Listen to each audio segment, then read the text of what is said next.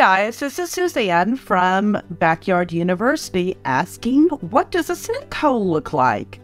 If you're out on a walk or working in your backyard and see a hole in the ground, you may not think much about it, but you might want to think again. What if that hole is a snake hole? It's important to be able to determine if you have a snake, especially if you have pets and children. Of the 3,000 snake species, only about 15% are poisonous.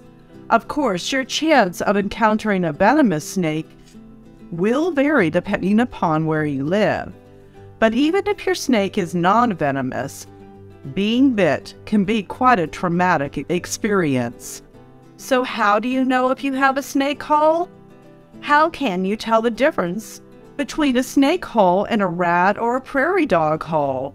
The answer is you can't, simply because snakes don't dig their own holes. It's impossible. They have no arms or claws to dig with. Instead, they move into existing homes where previous owners have left. When snakes look for a home, they like a tight space, preferably where only they can fit comfortable although they have been known to share space. The average diameter is usually around 3 to 4 inches, but depending upon the snake, can be much larger or as small as an eighth of an inch.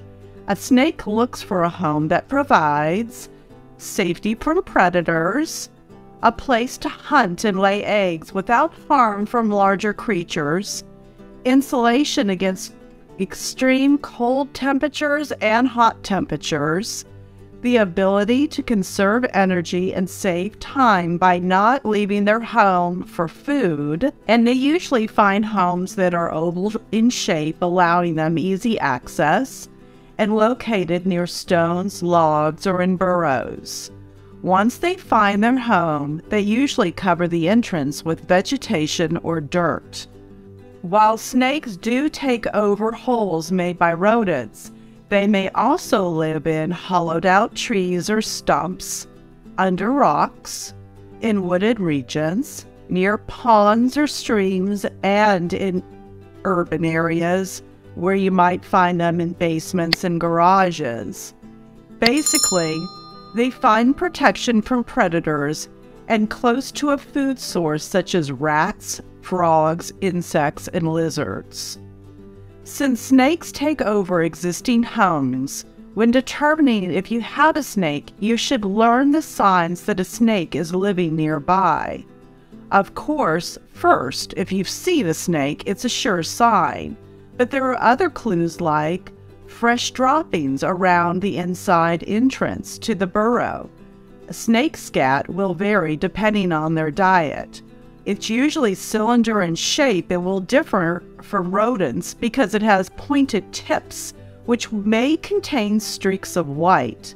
You may also find things such as hair and bones inside the feces. Additionally, many types of snakes have an offensive odor which may be present near their home.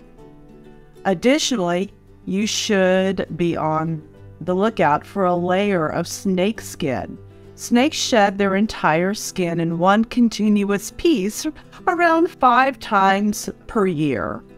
Other clues, such as tracks leading into and out of the hole, tunnels or pathways worn away through vegetation around it, or even tail drag marks where they slide over rough surfaces.